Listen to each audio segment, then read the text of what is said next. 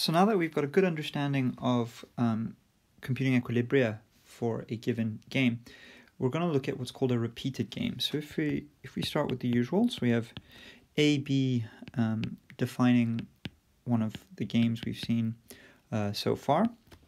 But now we're going to call this a stage game. Okay, and the idea is that this game uh, becomes a repeated game when players play this game uh, for t periods.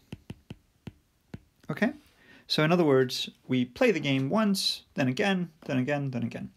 Um, as a running example, we're going to use this stage game. So nothing, nothing has changed. This is just the same as we've done before.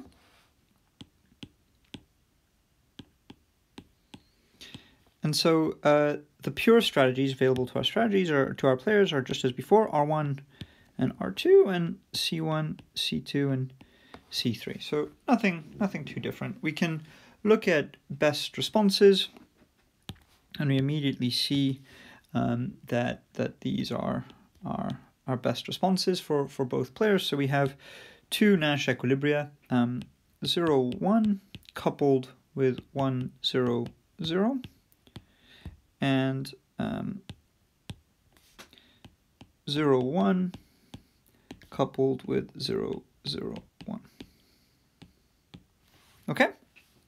Um, now, what becomes interesting is when we say, let's play this game once, and then let's play the game again. But the whole idea here is that we need to talk about what a strategy for the repeated game is. So when we repeat the game, what do we mean by a um, strategy. Um, and to, to clarify this, what we're, we're going to refer to these things as actions now. So these are actions.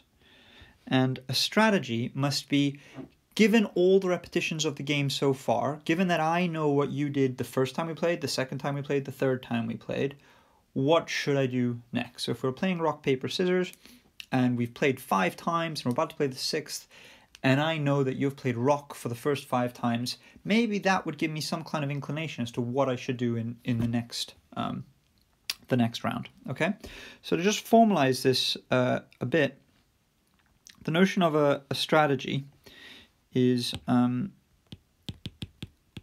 it must be a map um, of the entire history of the game, so the union of the history at time at repetition t all the way up to t minus 1 to an action. Right? So that that's our our our definition and h of t is history of both players and a is an action. Okay? So in the example we've got here, we have to consider all possible histories. Now, we have that the union of h of t for t equals 0 to t minus 1. Well, first of all, let's write down when t equals 0. So when t equals 0, when we haven't played before, then our, our history is just going to be the empty set. So the very first time we're going to play against each other, we know nothing about each other, okay? But then we need to consider the second time we play all possible um, histories. So R1, C1,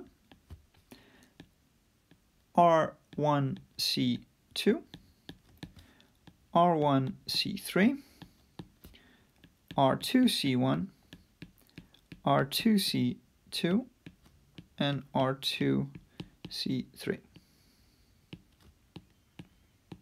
Okay, so that is the um, all possible histories of the games. This is all things the players could know. And so a strategy just becomes mapping each one of these things to an action all right? Either to the actions of the row player or the actions of the, the, the column player. So for example, you could say, well, the first time we're going to play, the, the row player is going to play R1. Then, uh, and I'm just mixing this up, right? Then, um, given that the second player uh, plays C1 or C2, then then they'll play R2. But if they play C3, then then they'll play R1. And we should theoretically map these as well.